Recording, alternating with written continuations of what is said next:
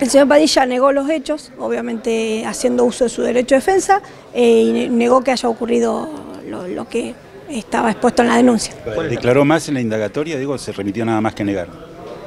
No, no, efectuó apreciaciones que hacen a su derecho de defensa, negando los hechos y haciendo manifestaciones en ese sentido. ¿Cuál es la imputación?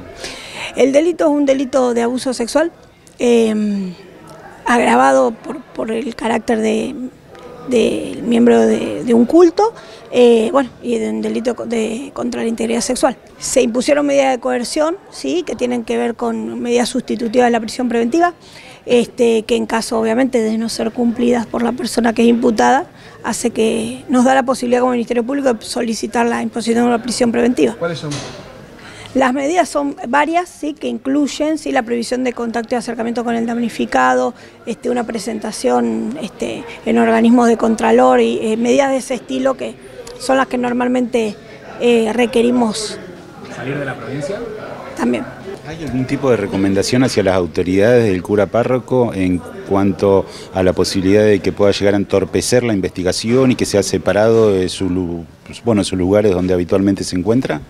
Sí, Em, la realidad es que nosotros eh, ya hemos puesto de alguna manera en conocimiento al, obispado, porque se le ha requerido información, sí, al obispado, información respecto a la investigación, que estamos aguardando.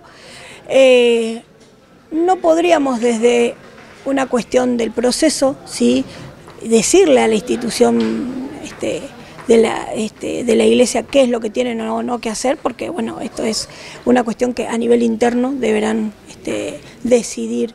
Sí es cierto de que se ha comunicado, se comunica el inicio de, la investigación y se le solicitan, en este caso se le ha solicitado información también. Más allá de que sí se tomado conocimiento de que ha habido este eh, ha habido presentaciones en el obispado solicitando que se tome una decisión similar a la que ya se tomó en Santa Rosa con el apartamiento de, de otro sacerdote. Eso sí lo he sabido, pero bueno, esas solicitudes son solicitudes que, este, que no tienen que ver con el proceso penal. ¿sí? La denuncia es una, ¿ustedes descartan o tienen algún indicio de que pueda llegar a existir alguna otra víctima? En principio la denuncia es una, es una sola persona la que ha concurrido, hasta el momento nadie más se ha presentado. ¿Son varios deban hacerse? ¿Los que se investigan?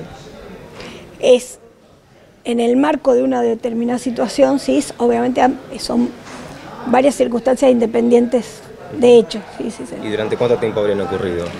En el transcurso de los, de los pocos meses que estuvo el damnificado como seminarista acá, que sé que es información que incluso ha surgido eh, antes de que se hiciera la denuncia formal. Más allá de las complicaciones habituales que representa la investigación de un hecho de abuso sexual, que por lo general son intramuros, ¿Existen otras complicaciones por las características de, esta denuncia y por tratarse de un ámbito privado o puertas adentro también, donde está la iglesia de por medio?